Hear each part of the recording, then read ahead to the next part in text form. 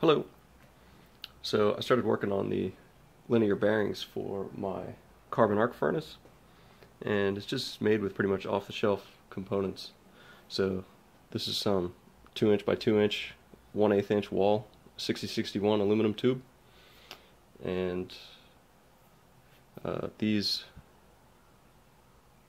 are pretty much uh, skateboard or rollerblade bearings.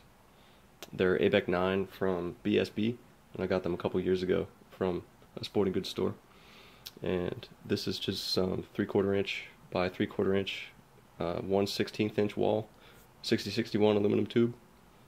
And this is five sixteenths uh, threaded rod, uh, washers, lock washers, and nuts.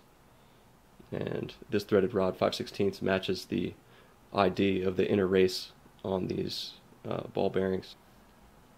So instead of doing something fancy with specialty uh, CNC type rail and linear bearings, I just came up with this. And uh, after I came up with this design in my head, some internet searching showed some other people were using a similar approach for other projects. So each one of these aluminum square tubes is cut and drilled exactly the same, which made it pretty easy to set up a jig in a, uh, a drill press milling machine. So you can see on on one side, two of the holes are spaced farther apart, and 90 degrees to that on the other side, the two holes are spaced closer together, and that makes them all interchangeable with each other. So this threaded rod right here is farther out and does not hit the threaded rod running the other direction.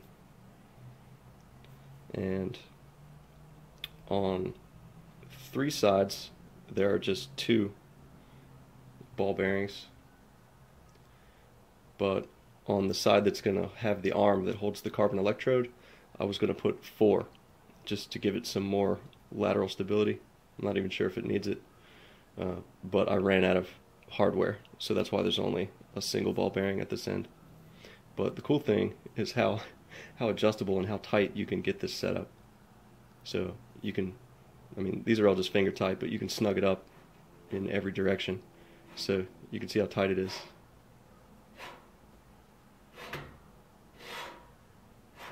I mean, it doesn't even it doesn't continue rolling on its own. It's so tight. And I'm not sure if you can see right through here, but these tubes aren't actually contacting anything because the three quarter inches of these tubes is just slightly less than the diameter of these ball bearings.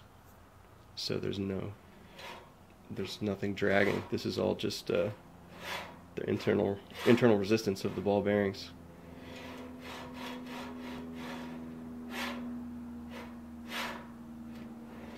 So that is ridiculously smooth with, with no play.